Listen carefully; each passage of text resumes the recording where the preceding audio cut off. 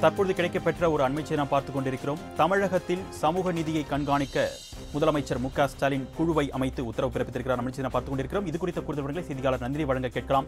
வணக்கம் நந்தினி. கூடுதல் விவரங்களை பதிவு பண்ணுங்கள். வணக்கம் அவர்களே. சமூக நீதியை கண்காணிக்க குழு அமைத்து தமிழ்நாடு முதலமைச்சர் தற்போது உத்தரவு பிறப்பித்திருக்கிறார். அந்த வகையில் சமூக நீதி அளவுகோலானது சட்டப்படி இருப்பதாகவும் ஆனால் முழுமையாக செயல்படுத்தப்படுகிறதா என்பதை கண்காணிப்பதற்காக தமிழ்நாடு அரசால் ஒரு கண்காணிப்பு குழுவை அமைக்க முடிவெடுத்திருப்பதாக தமிழ்நாடு முதலமைச்சர் குறிப்பிட்டிருக்கிறார். மேலும் கல்வி வேலைவாய்ப்பு பதவிகள் பதவி உயர்வுகள் நியமனங்கள் ஆகியவற்றில் சமூக நீதி அளவுகோல் முறையாக முழுமையாக செய்கிறதா என்பதை இந்த குழு கண்காணிக்கும் எனவும் வழிகாட்டும் செயல்படுத்தும் எனவும் தமிழ்நாடு முதலமைச்சர் தெரிவித்திருக்கிறார். சரியாக நடைமுறைப்படாவிட்டால் உரிய நடவடிக்கை எடுக்க அரசுக்கு இந்த குழு பரிந்துரை செய்யும் எனவும் தமிழ்நாடு முதலமைச்சர் குறிப்பிட்டிருக்கிறார். இந்த குழுவில் அரசு அதிகாரிகள் கல்வியாளர்கள் சட்ட வல்லுநர்கள் இடம்பெறுவார்கள் எனவும் குறிப்பிடப்பட்டிருக்கிறது. அந்த வகையில் திராவிட இயக்கம் என்பது சாமானியர்கள் உயர்வதற்காகவும் சாமானியர்களால் சரித்திரம் படைக்கப்பட்ட தொடர்ந்து படைக்கப்படும் உயரிய வரலாற்றை கொண்டது எனவும் தமிழ்நாடு முதலமைச்சர் அந்த அறிக்கையில் குறிப்பிட்டிருக்கிறார். ஆயிரத்தி தொள்ளாயிரத்தி பதினாறாம் ஆண்டு தென்னிந்திய நல உரிமை சங்கம் என்ற பெயரால் தொடங்கப்பட்ட நீதி கட்சியானது அன்றைய சென்னை மாகாணத்தில் சமூக நீதி தீண்டாமை ஒழிப்பு ஒடுக்கப்பட்டோர் உரிமை சுயாட்சி கருத்துக்கள் ஆகியவற்றிற்காக குரல் கொடுத்ததாகவும் ஆயிரத்தி தொள்ளாயிரத்தி இருபதாம் ஆண்டு நடந்த முதல் தேர்தலில் வென்ற நீதி கட்சியானது இதனை பல்வேறு அரசாணைகள் மூலமாக செயல்படுத்தியது எனவும் அந்த அறிக்கையில் குறிப்பிடப்பட்டிருக்கிறது. மேலும் அதில் முக்கியமாக அரசாணை வெளியிடப்பட்டு இன்றுடன் நூறு நாட்கள் ஆகிறதாகவும் ஆண்டுகள் ஆகிறதாகவும் அதுதான் தமிழ் சமுதாயத்தின் பல தலைமுறைகளை மாற்றிய சமூக நீதி அரசாணை எனவும் தமிழ்நாடு முதலமைச்சர் குறிப்பிட்டிருக்கிறார்.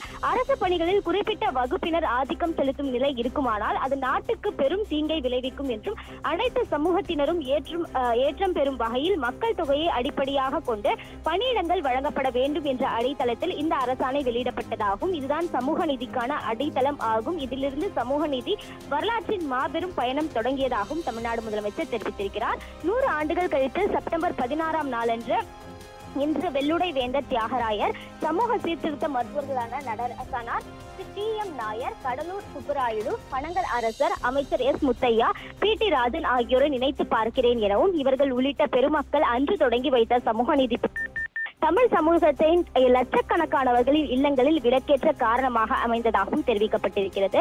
அந்த வகையில் இனி பிறக்கும் பிள்ளைகளுக்கு முத்தையா என்று பெயர் சூட்டுங்கள் என்று தந்தை பெரியார் அவர்கள் கூறியதாகவும் இந்த சமூக நீதி அரசாணையானது தமிழ்நாடு எல்லையை கடந்து இந்தியா முழுவதும் இன்று வெற்றி நடை போட்டு வருகிறதாகவும் தமிழ்நாடு முதலமைச்சர் தெரிவித்திருக்கிறார்.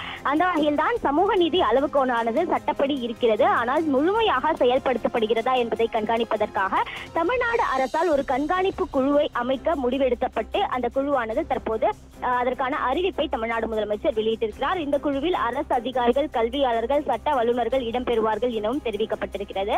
சமூக நீதியின் அரசாணையின் நூற்றாண்டு நாளில் சமூக நீதி கண்காணிப்பு குழுவை அமைப்பதில் பெருமை கொள்வதாகவும் தமிழ்நாடு முதலமைச்சர் அந்த அறிக்கையில் தெரிவித்திருக்கிறார். அந்த வகையில் சமூக நீதியை கண்காணிப்பதற்காக அரசு அதிகாரிகள் சட்ட வல்லுநர்கள் கல்வியாளர்கள் கொண்ட குழு அமைக்கப்படும் என்ற அறிவிப்பு தமிழ்நாடு முதலமைச்சர் சார்பில் தற்போது வெளியிடப்பட்டிருக்கிறது.